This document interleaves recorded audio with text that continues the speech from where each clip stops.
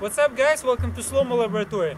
Today I'm gonna show you the meanest way to put your coffee creamer in the coffee. Let's do it.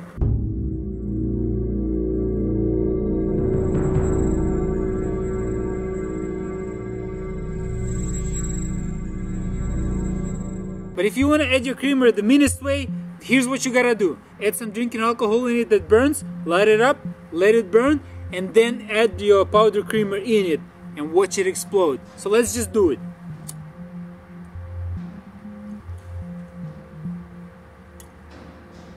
Okay.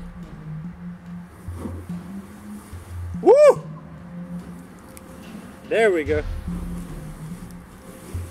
That's how you add your creamer.